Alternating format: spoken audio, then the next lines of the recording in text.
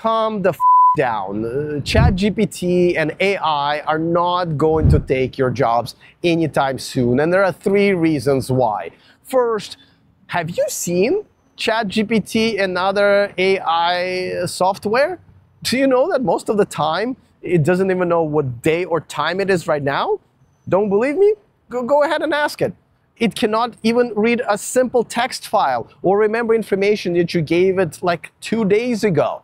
And when it gives you that great, great medical advice, have you gone to a doctor and checked up if that was actually good advice? Because a lot of times it isn't. And you can have many, many, many examples of how ChatGPT and other AI bots are just not very smart. And a lot of them, well, ChatGPT is now on version 5, 5 versions over many, many years, and the best programmers in the world, and yet nothing. Nothing. Tesla. Remember how Tesla said that all electric cars that it makes are going to be fully self-driving? Remember that? That's been like almost a decade ago, and they're nowhere near close to that. They keep promising it every year. I think they kind of got tired of that and maybe stopped. But it's not happening yet. Now, I'm not saying it will never ever happen, but not anytime soon, which brings me to the second point.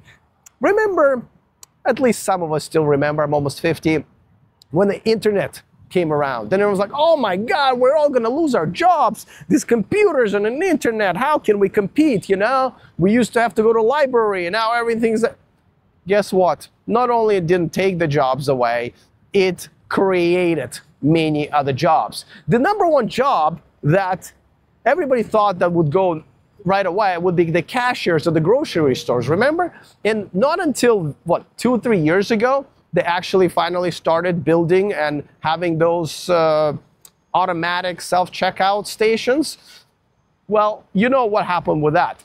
One, a lot of people don't like it. They're too confusing. They'd rather stand in line. And secondly, what do you see at every single self-checkout area at the grocery store?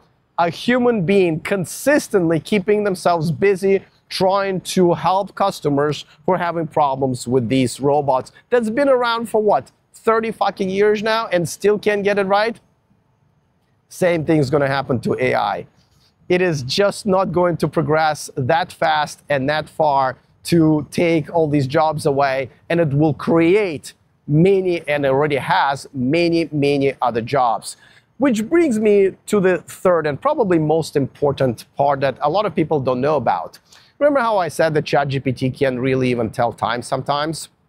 Well, when you're a software engineer and you're being taught how to do it on the first day of your software engineering 101 class, nowadays probably in high school, print time. Print time. That's the first thing you learn when you're you want to become a, a software engineer. ChatGPT can't do that. Why is that? Well, a lot of you guys think that software engineers are smart, that Google and Facebook and all of them are hiring this amazing top of the line MIT graduates with master degrees in software engineering, computer science. And they are, except for they are not very smart. And again, you don't have to really take my word for it. Just look at the software that we're using on daily basis, how stupid it is.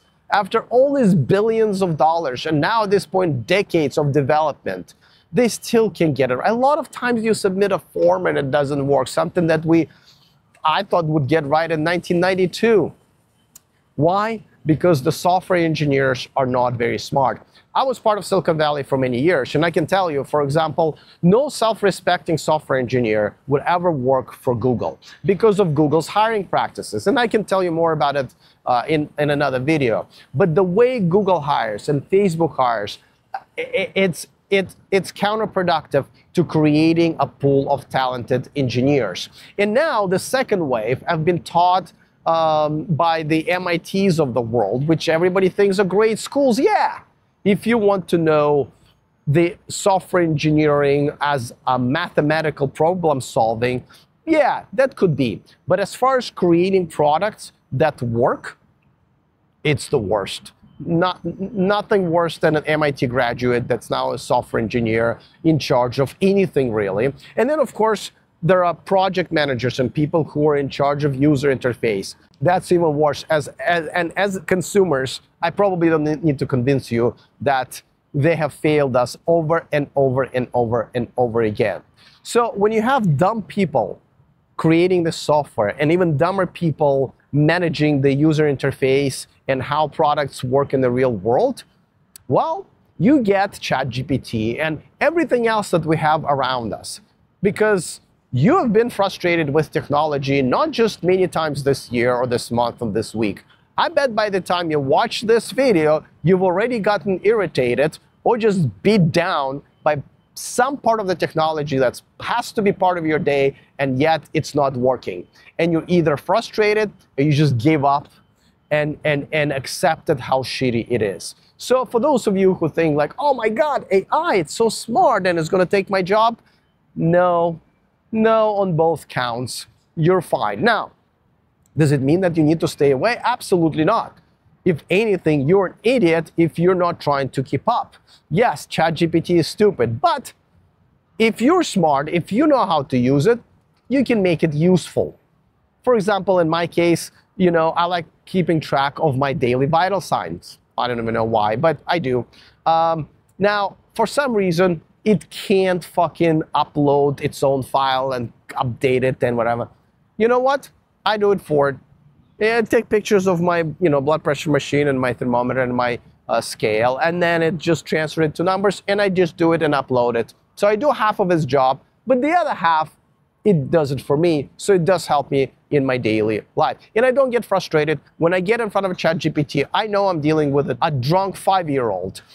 And that's and it is what it is. So please stop worrying, but also please start learning ChatGPT, some of the imaging generation software. You can even write a song nowadays, so have some fun, become an artist. But it will never ever in your lifetime take your job without you getting a better one because of AI. If you're looking to buy an electric car, there is a brand new way how to do it. Of course, it is using AI. Go to ChatGPT, look for the app store. It's called GPTs. Look for the EV buyer's guide. And this app I have configured specifically for you for free. There's a link in the description of this video as well.